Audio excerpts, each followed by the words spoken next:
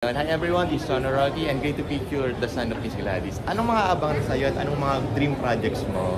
Ah, right now po, ah, I'm in school pa. Pero as of now po, parte po ako ng isang sitcom sa INC-TV. Wow. Ah, it's called One for All, for One po. Manonood niyo po sa INC-TV every 6.30, ah, every Sunday po. So, magaling po ako doon. Ah, hopefully po sa future, magkaroon rin po ako ng mga proyekto na katulad nito.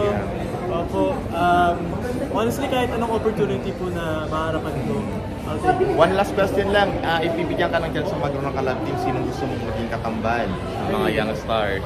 Or sino ba yung mga showbiz projects mo? Iisipan ko po yun. Ayun. So, thank you Christoph and congratulations din. Thank you very And, much. uh, ikaw yung panganay ni Gladys, ano? Okay po. Thank you and congrats. Thank you.